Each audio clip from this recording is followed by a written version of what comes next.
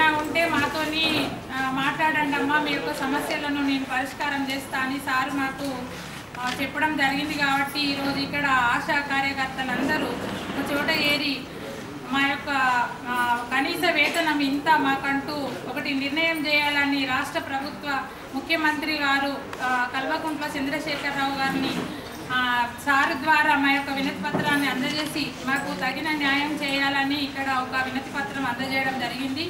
అట్లాగే మే మేము సేవలు అందిస్తున్నటువంటి పనులను గుర్తించినటువంటి మా ఏఎన్ఎంస్ ఉన్నారు కాబట్టి మాకు మద్దతుగా మా మేడం గారు ఇక్కడికి వచ్చేసినందుకు మేము వారికి కృతజ్ఞతలు తెలియజేస్తున్నాం. రమాదేవి మేడం గారు ఇక్కడికి వచ్చారు. ఆ యొక్క మేడం ద్వారా మేము ఏమేమి సేవలు అందిస్తున్నాం అనేది ఇప్పుడు అందరికీ నా నమస్కారాలు. నేను గొల్లపల్లి సిస్టర్లో సిస్టర్గా చేస్తాను. నా పేరు రమాదేవి. అయితే మేము కూడా మొన్నే అనుకున్నామమ్మా మీ ప్రతి మండలం విజిట్ చేసుకుంటూ మీతోగానే employees medical medical employees union start చేసినాము. రీసెంట్గా ఒక వన్ డేలోనే అనుకున్నాం కాబట్టి మీ దగ్గరికి రాలేకపోయినాము. అయితే సార్ కూడా చెప్పిండ్రు ప్రతి మండలం తిరిగినప్పుడు ఆశ మీ లీడర్స్ ఉంటారు కదా మా మండలికి ఫస్ట్ సెకండ్ వాళ్ళ ద్వారా మీ ఫోన్ నెంబర్ తెలుసుకొని ఒక పెద్ద ఎత్తున మీటింగ్ కార్యక్రమం పెట్టాలని అనుకున్నాం కూడా. అయితే మిమ్మల్ని అందులో భాగంగా మేము కూడా తీసుకోదలుచుకున్నాము. మీకు సపోర్టింగ్గా ఎక్కడికైనా ఎప్పుడైనా మీ సమస్యల కొరకు మేము రావడానికి సిద్ధమే. ఎందుకంటే మీరు ఊళ్ళలో చేసేటివి మాకు ఫీల్డ్ ఫీల్డ్ డ్యూటీ కాబట్టి నాకు కూడా అన్నీ తెలుసు. మీరు ఒక్కొక్క ఎన్సీ దగ్గరికి కానీ ఒక ఇమ్యునైజేషన్ కాడికి కానీ ఫ్యామిలీ ప్లానింగ్ కోసం కానీ మీరు ఎంతవరకు మీ సహకారాలు అందిస్తారు? మీకు పొద్దున నుండి నైట్ ఏ నైట్లో ఫోన్ చేసినా కూడా మీరు వెళ్తారు.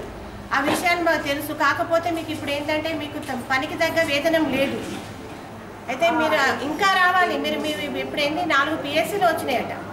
మనకు పదిహేడు మంది పిఎస్సీలు అయితే ఇప్పుడు మేము కూడా రేపటి నుండి స్టార్ట్ చేస్తున్నాం మండల్ వైజ్గా తిరగడానికి. తప్పకుండా మీ సహకారాలు కూడా మాకు అందించాలి. మీరు కూడా అందరూ మేము పోయిన కాడికి మిమ్మల్ని కూడా పిలుస్తాం కాబట్టి తప్పకుండా రావాలని కోరుతూ అవకాశం ఇచ్చి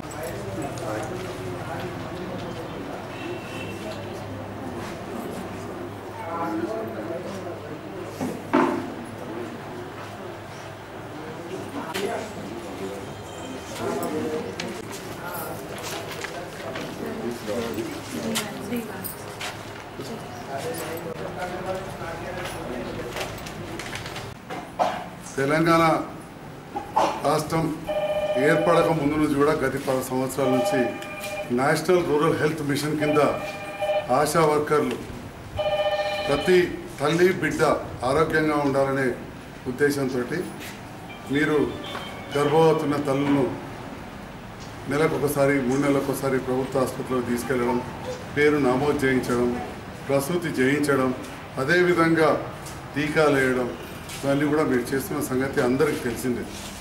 అందులో నేను ఒక డాక్టర్ కాబట్టి వైద్య వృత్తులు కాబట్టి కంటి డాక్టర్ అయినా ఆయన ఒక ఐఎంఏ అధ్యక్షునిగా ఐదు సంవత్సరాలున్న ప్రతి డాక్టర్తో సత్సంబంధాలు ఉన్నాయి. ఇక్కడే మనం పుట్టి పెరిగాం కాబట్టి ఈ సమస్యలు తెలియని కావు. ముఖ్యంగా మీ సమస్య ఇంత జటిలంగా ఎందుకైందంటే ఆశా వర్కర్లు అందరూ కూడా నేషనల్ రూరల్ హెల్త్ మిషన్ కింద జాతీయ విధానం కింద మీరు అందరూ రిక్రూట్ చేయబడ్డారు. అంటే భారతదేశం మొత్తం కూడా. తెలంగాణ రాష్ట్ర ప్రభుత్వం కానీ ఆంధ్రప్రదేశ్ కానీ అట్లా ఏర్పడ్డలు కాదు. అయితే వేరే రాష్ట్రాలలో ఒకటి రెండు రాష్ట్రాల్లో ఇప్పటికి కూడా కేంద్ర ప్రభుత్వం నేషనల్ రూరల్ హెల్త్ మిషన్ ఇచ్చేదాంతో పాటు కొంత గౌరవ వేతనం ఇస్తూ ఉన్నారు. తెలంగాణ రాష్ట్రం ఏర్పడిన తర్వాత మన ముఖ్యమంత్రి గారు పదే పదే చెప్పారు. మన గౌరవ ఎంపీ కవితక్క గారు కూడా మహిళ మహిళల సమస్యల పట్ల ఎప్పటికప్పుడు స్పందించే వ్యక్తి. ఇదివరకే చెప్పడం జరిగింది మేము తప్పకుండా చేస్తామని చెప్పి ఎన్నో పలు సందర్భాలలో. మరీ ముఖ్యంగా మొన్న మధ్యలో వచ్చినప్పుడు మీటింగ్లో వస్తే చెప్పారు ధర్నాలు వద్దు దరఖాస్తులు ఇవ్వండి ఇట్లా. మేము తప్పకుండా ఆలోచిస్తాం ప్రతి తెలంగాణ బిడ్డ సంతోషంగా ఉండాలనేది మన భావన. మహిళా కార్యకర్తలు అంగన్వాడీ వర్కర్లందరూ వాళ్ళని వాళ్ళ టీచర్లు గుర్తించింది మన ప్రభుత్వం. వాళ్ళకు నాలుగు వేలు జీతం ఉండింది. ఇవాళ వాళ్ళు కూడా తల్లి బిడ్డల సంరక్షణ కోసం పనిచేస్తారు కాబట్టి వాళ్ళ జీతాలు పెంచడం జరిగింది. అదేవిధంగా గ్రామాలలో బిఏఓలు ఐకేపీ మైరర్ ఫీల్డ్ అసిస్టెంట్స్ వాళ్ళందరూ కూడా పెంచారు. కాంట్రాక్ట్ ఎంప్లాయీస్ మన హెల్త్ డిపార్ట్మెంట్లో ఉన్న వాళ్ళకు కూడా దాదాపు ముప్పై నలభై శాతం జీతాలు అందరికి చాలామందికి పెరగడం జరిగింది. రెగ్యులర్ శాలరీస్ సిస్టర్స్ ఏఎన్ఎంస్ కూడా నలభై శాతం పెరిగింది. అలాగే ప్రతి వాళ్ళ మీద కూడా మన ప్రభుత్వం దృష్టి వేస్తుంది. నాకు పూర్తి నమ్మకం ఉంది. ఆశాజనకంగా ఉంది. ఆశా వర్కర్లకు కూడా తప్పకుండా మా ముఖ్యమంత్రి గారు దీనిపైన కూడా దృష్టి పెడతారు. ఒకటి తర్వాత ఒకరు వారు చేస్తా పోతున్నారు మీ సమస్యలు నేను పూర్తిగా వారు తీసుకుని తీసుకెళ్తా. నాకు తెలుసు గ్రామాలలో మీరు ఎన్ని గ్రామాలలో మీరు మీ డ్రెస్ కోడ్ తోటి తెల్ల చీర కట్టుకొని ఇంటింటికి తిరిగి ఆ పేషెంట్స్ ఇక్కడ గవర్నమెంట్ హాస్పిటల్ తీసుకురావడం అనే కార్యక్రమాలు చేస్తూ ఉన్నారు. తప్పకుండా మీ సమస్యలు వారి దృష్టికి ఒకటికి రెండు సార్లు చెప్తున్నా అతి త్వరలోనే మళ్ళీ తీసుకెళ్తా. ఇంతకంటే చెప్పారు కొంతమంది ఒట్టి రెచ్చగొట్టి మీ విధులు అన్ని పాడు చేసి ఇదివరకు నెలలకు నెలలు మిమ్మల్ని రోడ్ల మీద కూర్చోబెట్టినారు అదేవిధంగా హైదరాబాద్ తీసుకుపోతాం అసెంబ్లీ ముందు ధర్నాలు చేస్తామని చెప్పి అట్లా పరిశ్రమ చేసారు ఇవన్నీ వద్దు. ముందుదే వచ్చే జీతమే మీకు కడుపు నిండే అంతా కూడా ఇంకా పూర్తిగా లేదు. తప్పకుండా ఇది ప్రభుత్వం దృష్టికి అధికారంలో ఉన్న పార్టీ ఆ పార్టీ నియోజకవర్గ ఇన్ఛార్జిగా ఇవాళ మీడియా ద్వారా అదేవిధంగా నేను వ్యక్తిగతంగా మాట్లాడి మన ఎంపీ గారికి ముఖ్యమంత్రి గారి దృష్టికి ఆరోగ్య శాఖ మంత్రి మంత్రి గారు మన లక్ష్మారెడ్డి గారి దృష్టికి కూడా తీసుకెళ్తారని తెలియజేస్తూ ఇక్కడికి వచ్చినందుకు మీ అందరికీ ధన్యవాదాలు. మన జగిత్యాల జిల్లాలో కూడా Telangana medical health employees union medical and health employees union ప్రారంభిస్తున్నారు. అది టీఆర్ఎస్ పార్టీకి అనుసంధానంగా ఉంటుంది. దానికి ఇప్పుడు రాష్ట్ర అధ్యక్షులు రూప్ సింగ్ గారు ఉన్నారు. అతి త్వరలోనే వారు బదులు రాంబాబు గారు కూడా రాబోతున్నారు.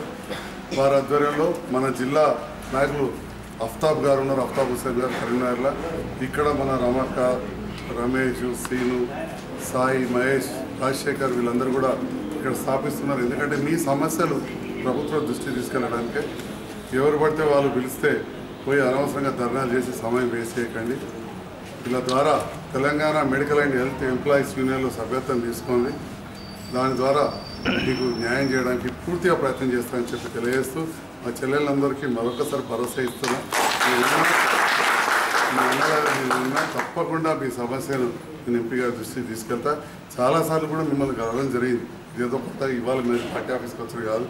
ఎంతోమంది నాకు తెలిసిన వాళ్ళే ఇక్కడ ఉన్న వాళ్ళు మీ ముఖాలని నేను ఒకరికొకరు చూసుకున్న వాళ్ళే తప్పకుండా మరి ప్రభుత్వం కూడా వాళ్ళ ప్రసూతులను ఒక ప్రెస్టేజ్గా తీసుకుంది ప్రభుత్వ ఆసుపత్రులు చేయాలి. వాళ్ళకు కేంద్ర ప్రభుత్వం నుంచి ఆరు వేలు ఇస్తే మనం కూడా ఇద్దాం మన ప్రభుత్వం నుంచి ఆరు వేలని కేసీఆర్ గారు నిర్ణయించారు. దాంట్లో భాగంగా ఆ ప్రసూతులు రావాలంటే తీసుకొచ్చేవారు మీరు. మీకు కూడా తప్పకుండా ఎంకరేజ్మెంట్ కూర్చోండి.